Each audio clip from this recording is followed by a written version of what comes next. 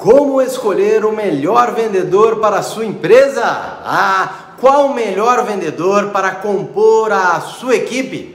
Se você está em dúvida se contrata o vendedor X ou o vendedor Y para a sua empresa, esse vídeo é para você. Acompanhe até o final. Segue a vinheta!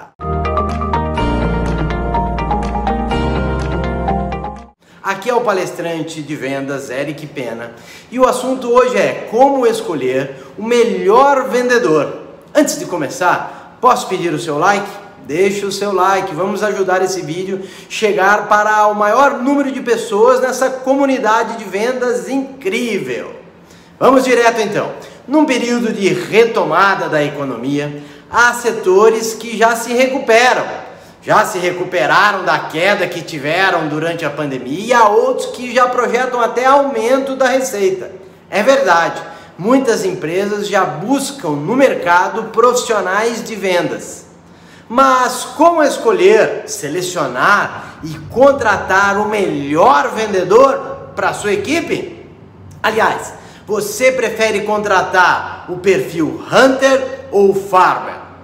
O mais extrovertido ou menos extrovertido? Prefere o talentoso ou o esforçado?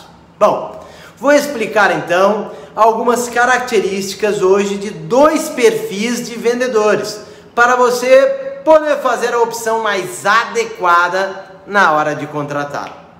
Vamos lá. Primeiro perfil é o que o mercado chama de perfil Hunter.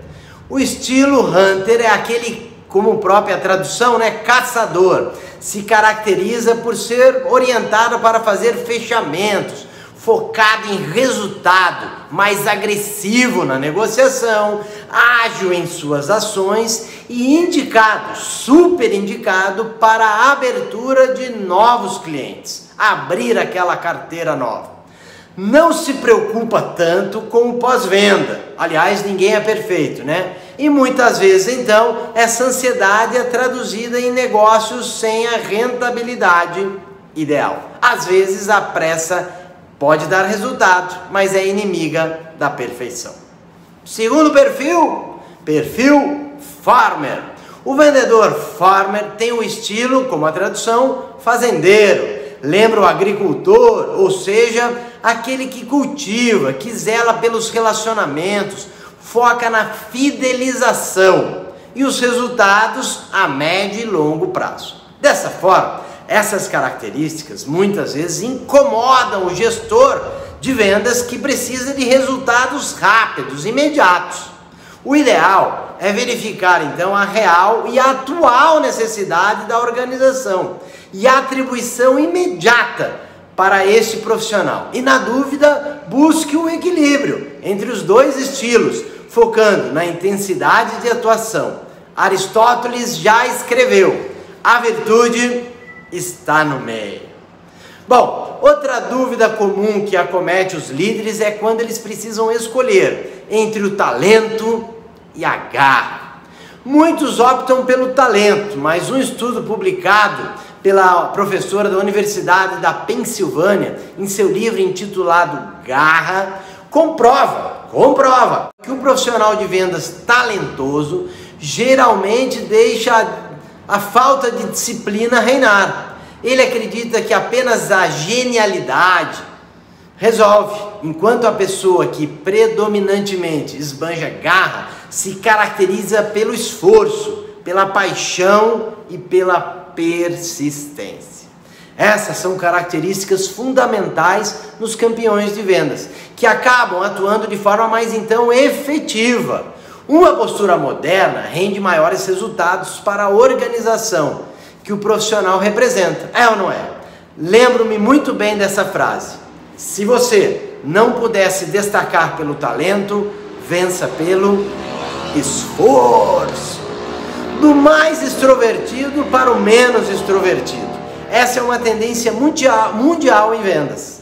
O cliente prefere ser atendido por alguém que não fica falando tanto na sua cabeça ou pratica aquela empurrologia de produtos, tentando forçá-lo a comprar algo que não precisa.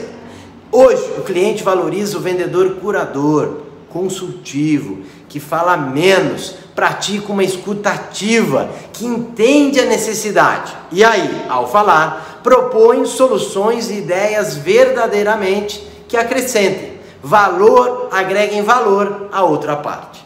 É fundamental lembrar que antes de vender, anota essa, antes de vender é preciso atender com excelência. É preciso entender para só depois atender. E por fim, uma dica de ouro: esteja sempre contratando. É, você que é líder, eu atuo como treinador de equipes e palestrante de vendas e nas viagens aí pelo Brasil percebo alguns líderes de vendas desesperados quando algum integrante, algum vendedor deixa a equipe. Na pressa em querer repor o vendedor e seu time comercial, acaba fazendo escolhas duvidosas e às vezes desastrosas. Portanto, a dica é: mesmo com um time completo e colhendo bons resultados, não abra mão de investir um tempo na atração e seleção de novos potenciais vendedores. Se num determinado momento a equipe perder um integrante, alguém já deve estar ali, por perto, pronto para sair do banco de reservas, entrar em campo e fazer uma jogada de mestre dar um verdadeiro show. E antes de terminar, eu pergunto: e aí? Já segue a gente lá no Instagram?